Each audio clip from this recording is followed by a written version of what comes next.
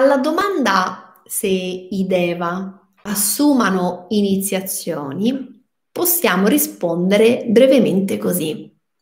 L'iniziazione è in relazione allo sviluppo cosciente del sé e concerne l'aspetto saggezza dell'unico sé. Essa presuppone lo sviluppo dell'aspetto intelligenza ed implica, da parte delle unità umane, la conoscenza del proposito e del volere e la loro partecipazione ad essi mediante l'amore ed il servizio.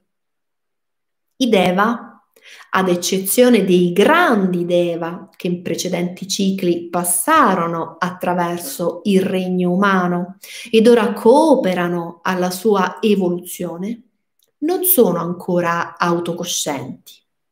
Essi si evolvono mediante il sentimento e non in forza del potere del pensiero cosciente. Invece l'uomo si sviluppa per mezzo di realizzazioni autocoscienti, autoiniziate ed autoimposte sempre più vaste. È il metodo dell'aspirazione e dello sforzo cosciente la più difficile linea di sviluppo del sistema solare, perché non segue la linea di minor resistenza, ma cerca di iniziare e di stabilire un ritmo più elevato. I Deva invece seguono una via di minor resistenza e cercano di appropriarsi e sperimentare con la massima intensità e col massimo grado di sentimento e di sensibilità la vibrazione delle cose quali esse sono.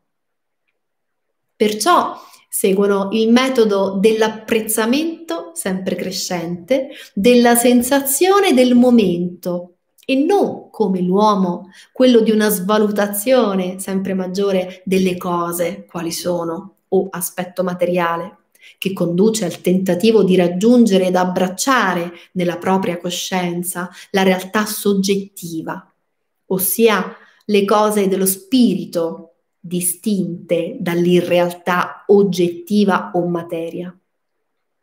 I Deva cercano di provare sentimento, l'uomo di conoscere.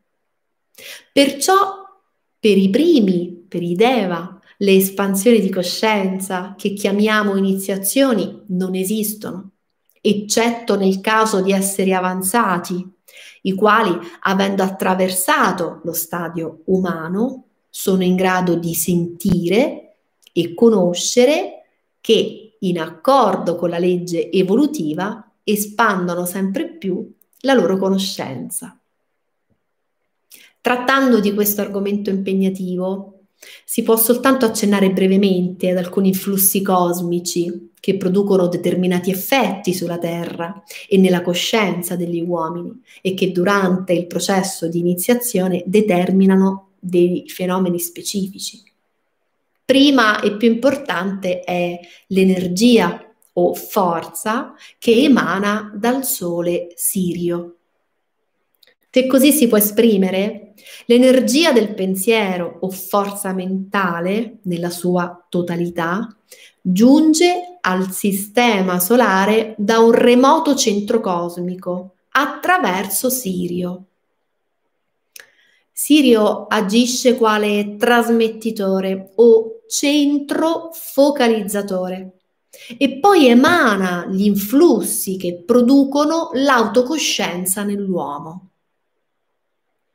Durante l'iniziazione, per mezzo della verga iniziatica, trasmettitore complementare e potente magnete, quell'energia viene momentaneamente intensificata ed applicata ai centri dell'iniziato con una forza terrificante. Se lo Ierofante e i due padrini non la facessero passare prima attraverso i propri corpi, egli non la potrebbe sostenere. Tale potenziamento dell'energia mentale produce espansione e conoscenza della verità, quale è, con effetti duraturi.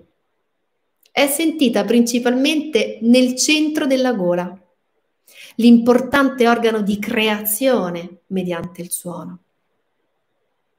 Un altro, un'altra energia raggiunge l'uomo dalle Pleiadi, attraversando lo schema di Venere, come l'energia di Sirio passa attraverso Saturno. Essa ha un preciso effetto sul corpo causale e stimola il centro del cuore. Una terza energia è applicata all'iniziato e influenza il centro della testa. Essa emana da una delle sette stelle dell'Orsa Maggiore, la cui vita animante ha il medesimo rapporto con il logos planetario di quello dell'ego con l'essere umano. Perciò questa energia è settemplice e differisce a seconda del raggio dell'uomo. Non è possibile qui indicare l'ordine di applicazione di queste diverse energie, né l'iniziazione durante la quale l'uomo viene in contatto con esse. Questi fatti fanno parte dei segreti e dei misteri e non è possibile rivelarli. Altre forze provenienti da alcuni schemi planetari, come pure da centri cosmici, sono messe in azione dall'iniziatore e trasmesse per mezzo della verga ai vari centri nei tre veicoli dell'iniziato, il mentale, l'astrale e l'eterico. Alla quarta iniziazione, uno specifico tipo di forza proveniente da un centro che deve rimanere ignoto viene applicato al corpo causale dell'uomo ed è una delle cause della sua disintegrazione finale.